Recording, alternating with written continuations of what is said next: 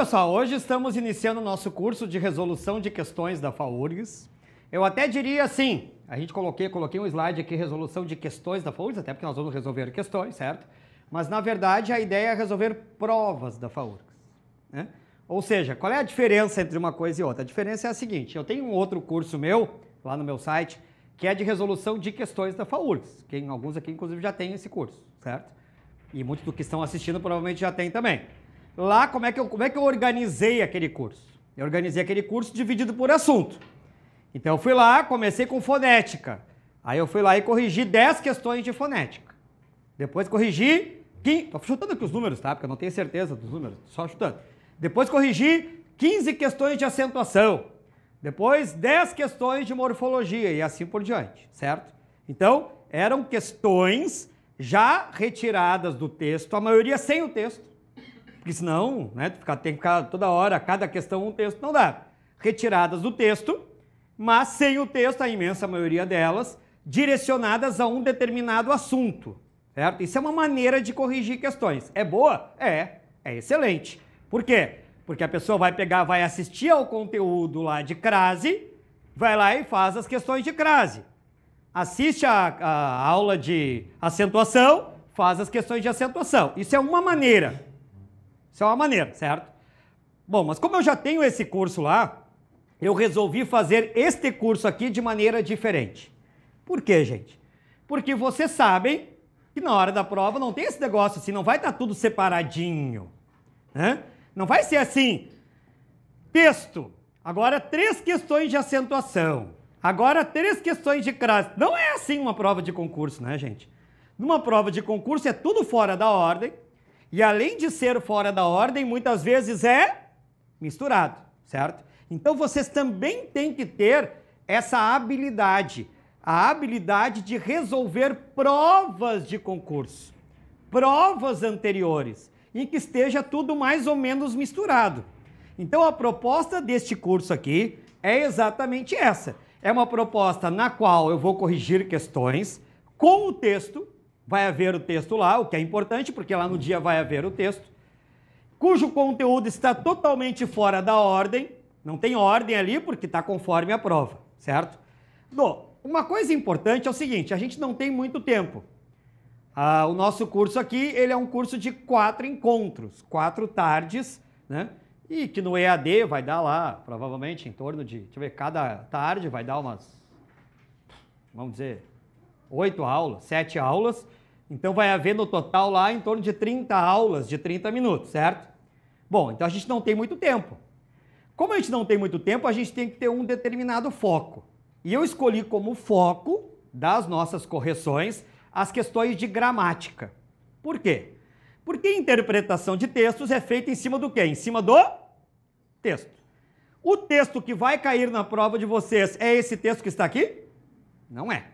Então, se a gente pegar e começar a ficar muito tempo em cima de correção de questões de interpretação de texto deste texto, não vai ser o mesmo texto no dia, vai ser outro texto. Então não é o ideal, entendeu, gente? Não é que vocês não tenham que fazer questões de, de interpretação de texto lá, né? Mas interpretação de texto é diferente de gramática. Gramática é assim, depois que tu viu o conteúdo 16 vezes, tu já sabe o conteúdo, não tem como errar a questão. Mas interpretação de texto não é isso. Por quê? Porque depende do texto.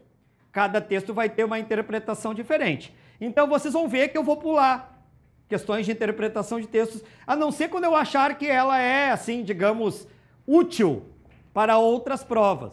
Quando for uma questão útil, às vezes uma questão de semântica ou alguma coisa assim, que é útil para outras provas, aí eu não vou pular, daí eu vou dar.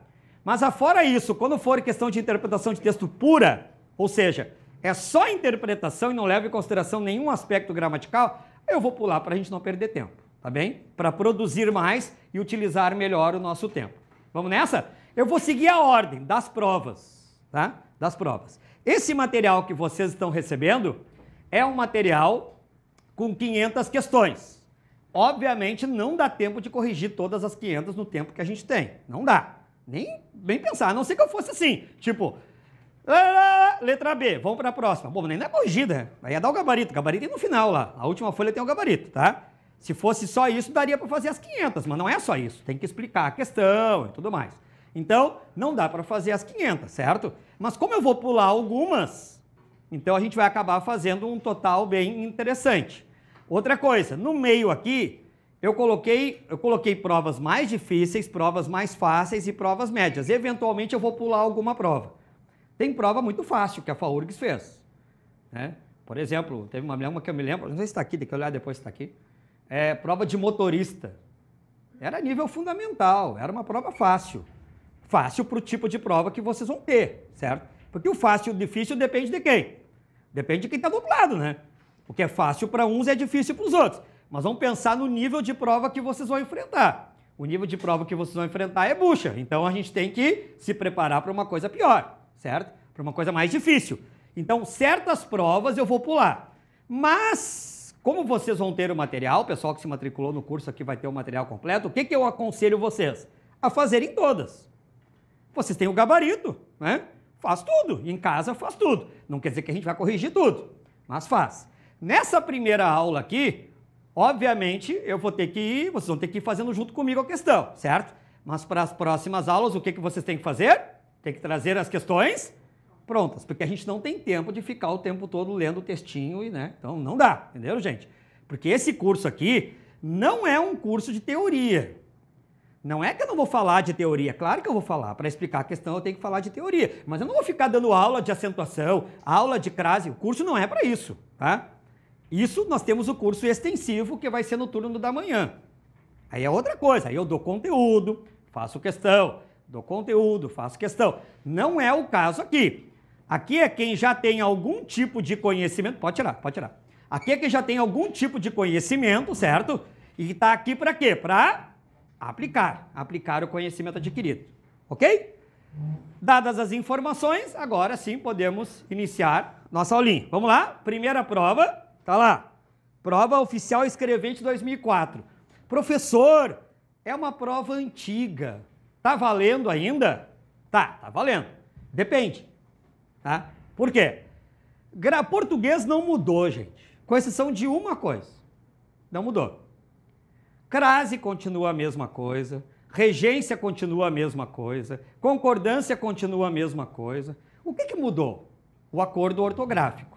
O acordo ortográfico, cuja vigência plena uh, partiu de 2015, tinha lá um período de transição e tal, mas pleno, ou seja, que passou a ser, passaram a ser exigidas as regras novas, foi 2015. O que, que mudou? Mudaram as regras de acentuação, mudaram as regras de uso do hífen. Principalmente isso mudou. Então, quando aparecer uma questão de acentuação, em que tiver uma parte dela que alterou, essa eu vou pular. Vale a pena a gente poder. Nós vamos estar nos baseando numa regra antiga que não vale a pena mais ver. Também quando for hífen. O hífen mudou totalmente. Não é mais a mesma coisa. Então, quando for questão de hífen, eu vou pular. Então, o que, que não vale mais aqui? O que não vale é hífen e boa parte da acentuação. O resto é igual. O resto continua igual. Pegar a prova da FAURGS do ano 2000 é igual às provas da FAURGS 2018. Mesma coisa, né? Só muda essa questão do acordo ortográfico, certo? Bom, então 2004 não quer dizer que a prova não seja importante, é importante igual, tá? Vamos lá. Lá diz assim: assinale a alternativa que preenche correta e respectivamente as lacunas com traço contínuo das linhas 2, 11 e 53. Vamos lá. Lá na linha 2 diz assim: todo espaço de memória promove um ato de lembrar, o qual costuma estar associado ou costumasse estar. Bom, mas é que é o costuma, né, gente?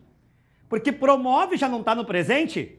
Se ela promove, ela costuma. Porque promove é presente, costuma é presente. Tem que manter uma certa lógica dentro da frase. Então é costuma. Aí, linha 11. Linha 11. Uh, eh, a casa, não sei se é a casa, depois tem a linha, as linhas senzala, acho que é. Deixa eu ver, linha senzala. A linha 9 é senzala, tá? Depois vamos ter que preencher isso aí. A senzala do solar dos Câmara foi preservada casualmente, por acomodar-se entre as fundações que dão sustentação à casa.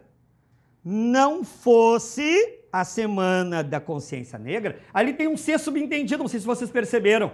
Se não fosse, estão percebendo que tem um C ali? tem um ser subentendido. Se não fosse, e aquele ser vai fazer o verbo ficar no pretérito imperfeito do subjuntivo, fosse. Então é se não fosse, tá bem? Se não fosse, parará, né? Depois na linha 53 diz assim: Afinal, não seria de se esperar que a cidade, ó, não seria, tá vendo? Não seria? Circula aquele seria ali. Circula. Por que, que eu quero que você circulem esse seria, gente? Eu quero que você circulem esse seria porque existe um negócio chamado correlação entre tempos verbais. O que, que é correlação entre tempos verbais? Quem foi meu aluno do extensivo aqui sabe disso, vai lembrar. São os namoros que existem entre tempos verbais. Tá? Os tempos verbais do subjuntivo, quem é que lembra os tempos verbais do subjuntivo? Quais são? Essas horas não lembro de nada, né? Professor, depois do almoço não dá. Né? Faz esse tipo de pergunta mais cedo, né? Depois do almoço, daquela hora da jiboia, né? Qual é a hora da jiboia? A pessoa come e começa assim, ó. Né? né? Então, vamos lá. Temos do subjuntivo, presente do subjuntivo, o que mais? Estou ajudando. Pretérito imperfeito e por último o... Não! Futuro do subjuntivo, tá? Futuro. Então são os três tempos. Esses três tempos, que são os tempos do subjuntivo, namoram, ó, namorar. Me faça uma frase com o verbo namorar aí. Regência, né, pessoal? Quem é que é namorado aí? Namorado, não vem com, ah, eu sou casado há 17 anos, é namorado, tá? Casado, tá ralado. Pense em namorado. Agora dia 12, em seguida tem dia 12, né? Ganha presente, motel cheio. Tá lá, né? Quem é que tá namorado aí? Levanta a mão. Tu! Como é que é o nome da pessoa? Ricardo. Olha, Ricardão.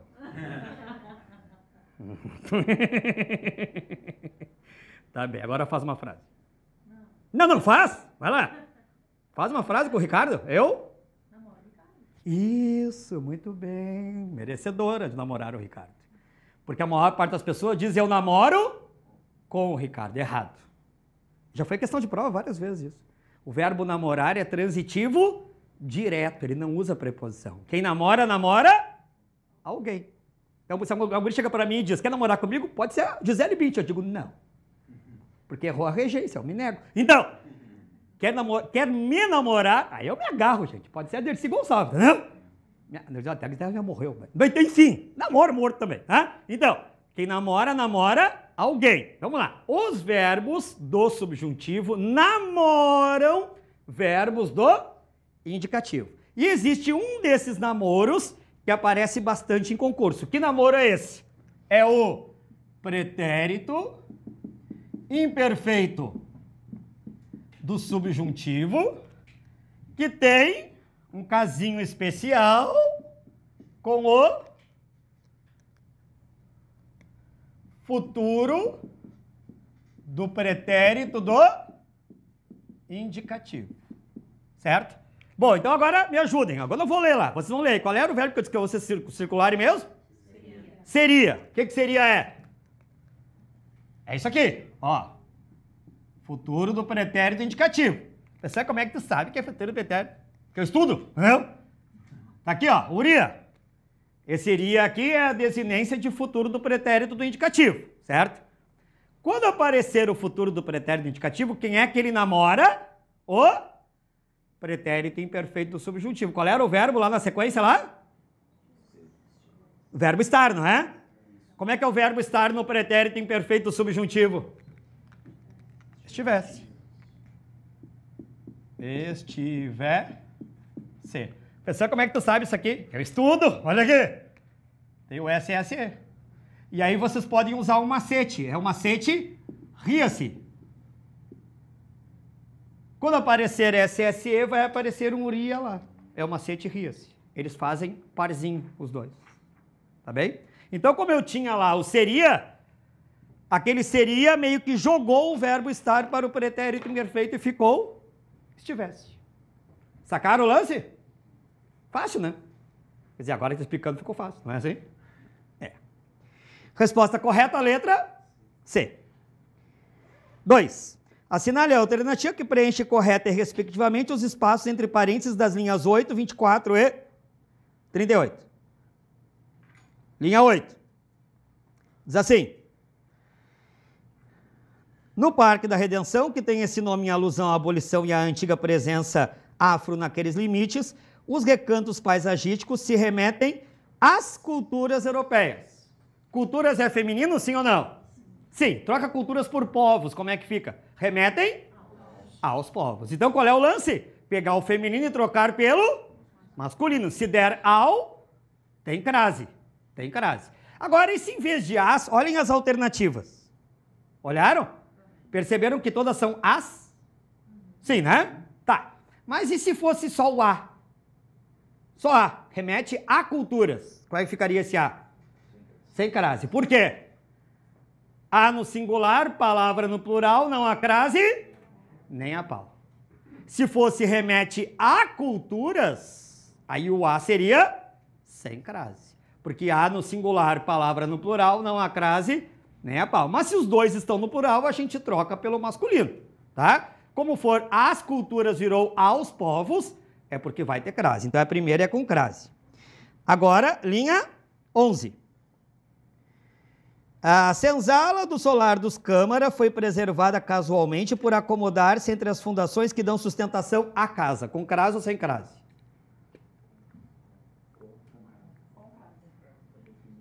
Eu não falei dessa questão hoje de manhã? Pessoal que estava no aulão, pessoal que acordou cedo, né? Veio para cá, se perdeu tudo, estava tudo perdido aí de manhã, estava tudo assim, mas uma batata tonta, tinha, onde é que é o prédio, onde é que é o andar, onde é que é Porto Alegre, né? Tudo assim, mas chegaram, né? O que, que eu comentei com vocês? Que ia aparecer essa questão aqui. A pessoa que decora a regra, ela decora assim, antes de casa, terra e distância só tem crase se for determinado. Não é uma regra é isso? Então se eu disser, fui à casa e voltei, tem crase? Não. Mas se eu disser, fui à casa da Maria e voltei, tem crase? Tem. Legal. Ali, naquela frase ali, diz de quem é a casa? Na frase. Na frase.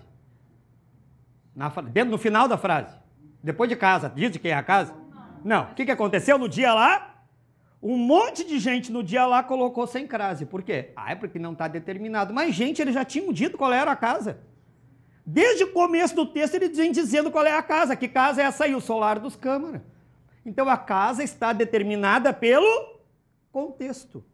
Quando diz que tem que estar determinado, não quer dizer que tem que aparecer uma coisa logo depois, ela pode estar determinada pelo que apareceu antes, que foi esse caso aqui. Então aqui é com crase, que dão sustentação à casa dos câmara, ao barraco dos câmara. É com crase, tá bem?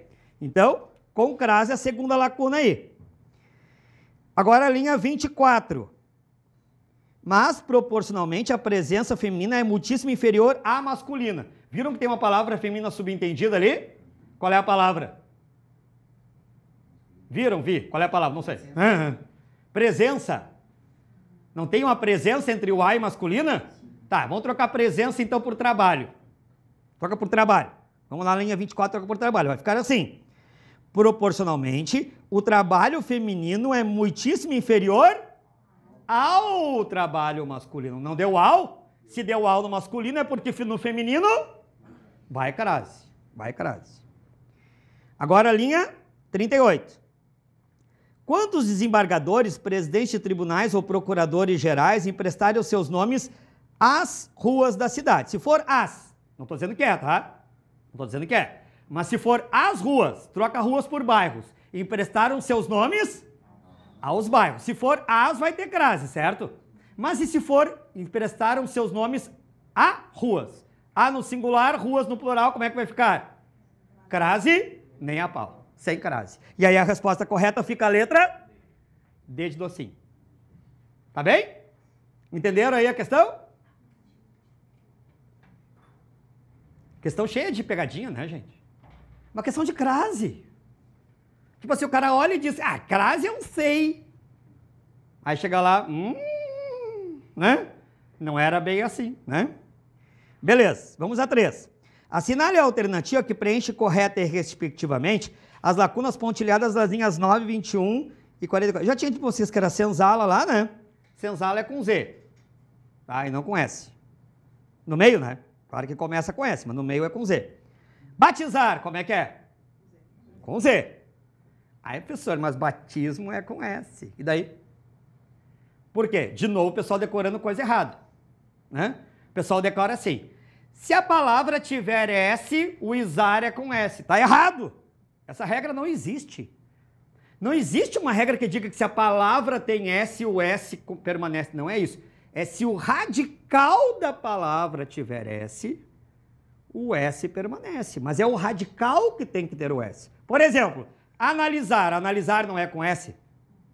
O radical, analisar. Todas as palavras que tiverem a ver com analisar vão ter S, porque o S está dentro do radical. Analisar, analisei, analisou, analista, é tudo com S. Tá bem? Agora, entre batismo e batizar, qual é o radical? É bate.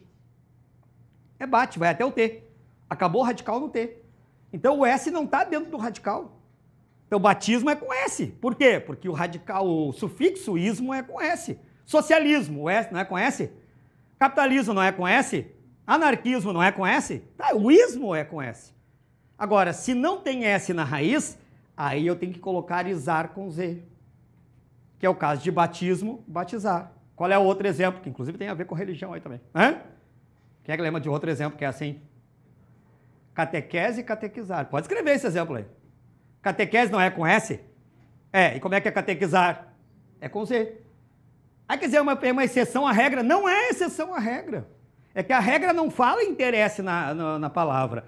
A regra fala interesse na raiz. Catequese, a raiz vai até o U. Catec. Acabou a raiz aí. Tá bom? Então, batismo é com S, mas batizar é com Z. E depois, acesso é com C depois dois S. E aí a resposta correta fica a letra A. A questão 4 é de interpretação de texto, conforme o combinado, vamos pular. Mas aí, quem quiser marcar a resposta aí, né? Querem marcar? Não, não. Tem o gabarito no final, não vou dizer. É, vocês fazerem em casa depois, tá? Tem gabarito no final, quem quiser marca depois. Beleza. Questão 5, a questão de gramática. Vamos lá, é pontuação. A respeito da pontuação do texto, são feitas as seguintes afirmações. E aí a pergunta é: quais estão? Corre, gente, cuidado com a FAURGS. FAURGS em qualquer banca, né?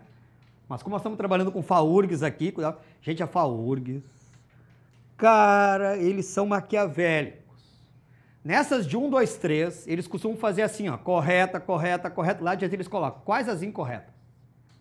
E a pessoa que estava lendo correta, correta, já nem lê mais. É correta. E aí nem lê que eram as incorretas que eles queriam. Tem que sempre primeiro olhar se eles querem as corretas ou as incorretas. Tomem cuidado com esse negócio, tá bem? Porque errar a questão por causa disso, a pessoa passa o resto da vida se punindo, né? Porque errou, tá? Errar por não saber, não sabia fazer o quê, né? Mas errar porque rateou é outra conversa. Vamos lá, número 1. Um. A vírgula depois de política na linha 14 foi utilizada pela mesma razão que a presente depois de desembargadores na linha 37. Então vamos lá, 14 e 37. Lá diz assim, linha 14. Como resultado concreto dessa mobilização política, vírgula, isso aí é um adjunto adverbial, gente. É um adjunto adverbial que está deslocado. Não é oração porque não tem verbo. Tá bem? É um adjunto adverbial que está deslocado. E aí a outra era a linha 37. Linha 37. Quantos desembargadores, presidentes. Gente, não é uma lista de coisas aí? É uma lista. Então é itens de uma série. É outra regra. Tem nada a ver com adjunto adverbial. É outra regra. É itens de uma série. Então o número 1 um está Errada, incorreta. 2. A vírgula depois de Cândido foi utilizada pela mesma razão que a presente depois de coletiva. Cândido na linha 15. Como resultado concreto dessa mobilização política, foi inaugurada uma erma de João Cândido, vírgula, Almirante Negro. Gente, o Almirante Negro não está explicando quem era o João Cândido? Quando explica e o núcleo é um substantivo, ó, não é só explicar, gente, porque tem uma carrada de coisa em português que explica. Termos explicativos em português: o aposto, o adjunta do nominal, a oração adjetiva explicativa, tudo isso aí explica, tá? Então não vem com essa assim, ah, se está explicando é aposto. Cuidado, não é verdade. Para ser aposto, tem que explicar e o núcleo, o que, que é núcleo? Palavra principal. O núcleo tem que ser um substantivo. Tá bem? Isso é o aposto. Almirante Negro, não explica quem era o Cândido? Qual é a palavra principal de almirante negro? Almirante, que é um substantivo. Isso é um aposto. Tá? Isso sim é um aposto, tá bem? Então, a primeira vírgula ali do almirante negro é aposto. Agora, depois de coletiva, na linha 34. Uh, na Praça da Matriz, Matriz, graças à ação matreira da memória coletiva, vez que o nome oficial. O que é vez que, gente? Quem é que sabe dizer o que é vez que? É uma conjunção. Vez que é uma conjunção. Que tipo de conjunção? Causal. É a mesma coisa que uma vez que. Bom, o que é uma conjunção causal? Uma conjunção causal é aquela que introduz uma oração subordinada adverbial causal. Orações subordinadas adverbiais causais podem estar isoladas por vírgula. Então aquela vírgula antes do que não tem nada a ver com a, do vez que, né? Não tem nada a ver com aposto. É uma vírgula da, escreve aí, oração subordinada adverbial. Então, uma é aposto e a outra é a oração subordinada adverbial. Ou seja, são coisas distintas, totalmente diferentes. Não tem nada a ver uma coisa com a outra. Portanto, a 2 está errada. Vamos a 3. Os travessões das linhas 33 e 36 poderiam ser substituídos por vírgula. Gente, quando aparecer uma questão como essa, 99,9% de certeza que vai estar certo. Porque em 99% dos casos, travessões podem ser substituídos por vírgulas e vice-versa. Quando é que não dá? Ah, não dá em, em, coisas óbvias. Por exemplo, itens de uma série. Como é que tu vai substituir a vírgula de itens de uma série por travessão? Não dá, né, gente? Comi arroz, vírgula, travessão, vírgula, travessão, feijão. Não dá, né? Então não é sempre que dá, mas geralmente dá para substituir travessão por vírgula e vice-versa, tá bem? Uh, sem que ocorresse alteração na correção gramatical ou no significado geral da frase. Vamos lá na linha 33. Lá diz: uh, pela instalação de um busto seu de frente, de fronte ao Palácio da Justiça, na Praça da Matriz. Agora ele vai explicar, não vai? Vai explicar. Matriz, graças à ação matreira da, metro, da memória coletiva. Fez que o nome oficial do logradouro, conhecido de poucos, é Praça Marechal Deodoro, em Porto Alegre. Não está explicando, gente, o porquê que é a matriz? Está explicando, mas não é uma explicação? Se é explicação, eu poderia pôr vírgula. Se eu poderia pôr vírgula, essa vírgula pode ser substituída por travessão e vice-versa. Então, o travessão pela vírgula e a vírgula pelo travessão. Então, apenas a 3 correta. Resposta, letra Brasil. 6. Imaginando-se que o significado da palavra erma seja desconhecido pelo leitor, são propostas estratégias seguintes para descobri-lo. O que é isso aqui, gente? Se quiser escrever o que é a questão, escreve aí, estratégia semântica. O que é estratégia semântica, gente? Estratégia semântica é quando a questão é o seguinte, ela pergunta, caso eu não saiba o significado da palavra, que, que eu posso fazer para descobrir o significado? Muitas vezes eles nem querem saber o significado. Eles querem saber assim, se tu não souber o significado, tu não tem acesso a Google, a dicionário, porque está no meio da prova, tu não pode usar. Qual é a melhor estratégia para chegar ao significado? Bom, quais são as estratégias possíveis? Né? Quiser anotar em termos resumidos aí. Estratégias possíveis. Um, campo semântico. Primeira estratégia, campo semântico. O que é campo semântico? Gente, se, há, se existe um conjunto de palavras com um determinado uso, se eu tenho uma palavra lá no meio delas, essa palavra deve ter o mesmo uso. Não é? Por exemplo, tinha uma questão da URGS lá que dizia o seguinte: que na Idade Média, pratos, copos, talheres, escudelas e. sei lá o que, o que mais tinha lá? Guardanapos, não sei. Eram de uso comum. Dizia assim: Aí a pessoa não sabia que era escudela. Que raio é escudela? Mas aí, olha só, pratos, copos, talheres, escudelas. Gente, olha o campo semântico do negócio. Escudela está no meio de quê? Utensílios de mesa, não é isso? Então deve ter a ver com isso. Então essa é uma boa estratégia. É a gente ver o conjunto de palavras que está em volta do negócio ali. Isso se chama com campo semântico. É uma maneira, tá? A outra maneira, maneira 2, é ver a família de palavras. família de palavras. O que é uma família de palavras? É como se fosse uma família de. De quê? De pessoas. Né? É ou não é? É. Yáscara, por exemplo, como é que tá o sobrenome? Ferreira Feijão. Olha aí. É, isso aí, isso é. É Yáscara. Aí Ferreira Feijó, estraga tudo. Dá. Não, é, que nem, é que nem Pollux, né? gente? É que nem Pollux. Como é que é o nome Pollux? A pessoa pensa, pô, lá vem o Agnostopoulos, né? História, né? Martins Gomes, Fá, chinelagem, né? É fogo. O meu acontece comigo isso aí a vida inteira, né? Por que que tá feijão? Teu pai era feijão, era um feijão, né? Feijão, né? Por que que teu pai era feijão. Porque o avô era feijão e assim vai. Entendeu? O que que dá, o, o que que dá a família de pessoas para nós? O sobrenome, não é isso? Sobrenome é um dos critérios para saber que pertence à mesma família. Só que palavras não têm sobrenome, palavras têm radical. Então o radical é o sobrenome das palavras. Duas palavras que têm o mesmo radical podem pertencer a, não quer dizer que pertença, mas podem pertencer à mesma família. Entenderam? Então, são as duas estratégias, gente. As duas estratégias são ver a família de palavras e ver o campo semântico. Essas são as melhores estratégias. Agora, se disserem assim, pela análise sintática, já elimina. A análise sintática não serve para saber significado de palavras. Tá? Até o pessoal que é do extensivo aí, a Yáscara foi, o Enio também, né? Também foi, né? Lembra da frase que eu pus aqui na tela aqui? Depois eu coloquei uma foto lá no grupo, lá, o pessoal ficou assim, ó, mas que frase é essa? Foi tu que mandou! Foi tu que mandou a foto, exatamente. Né? Como é que era a frase? Se as blugatides ouvassem trunfides apocolinas, então groncimente predimaríamos os chinfolanes de frelhões. Tem gente que desistiu do concurso naquele momento ali, né? E aí eu expliquei, essa frase não quer dizer absolutamente nada, né? Mas a gente pode fazer um monte de coisa com ela, pode fazer análise sintática, tu pode ver qual é o sujeito, o verbo, dá? Dá para ver. O que está dizendo não quer dizer nada, essas palavras não existem, né?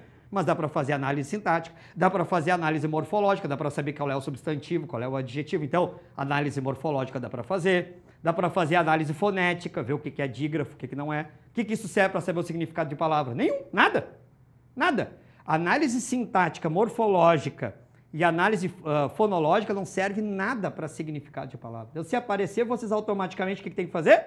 Eliminar a alternativa, tá bem? Então vamos lá. Diz assim: imaginando-se que o significado da palavra erma, com H, vejam que é com H, estão vendo? Erma, seja desconhecido pelo leitor, são propostas as estratégias seguintes para descobri-lo. Relacionar a palavra ermo pela semelhança gráfica. Gente, qual é o problema aí? É que ermo é com H e ermo é sem H. Então são palavras diferentes, certo? Não tem nem o mesmo radical. Nem o mesmo radical tem. Então não dá para ir por aí, tá? Depois, identificar a função sintática. O que, que eu acabei de dizer? Que função sintática não serve para saber significado de palavras. Não serve. Três, considerar o contexto em que a palavra está inserida. Bom, isso aqui é óbvio. É óbvio que a gente tem que considerar o contexto, né, gente? Até porque uma palavra num contexto pode ter um sentido e no outro contexto pode ter um sentido diferente, não é isso? Completamente diferente, tá? Resposta correta, apenas a três, letra Brasil, B. 7. O termo que pode substituir no texto a expressão vez que, sem prejuízo do significado da correção gramatical da frase é. Essa que eu já tinha antecipado para vocês. O que, que eu tinha dito quando eu falei sobre essa questão antes? Que o vez que é um nexo de que tipo? Causal. Pode escrever aí, é causal. Da ideia de causa. É a mesma coisa que uma vez que. Tá?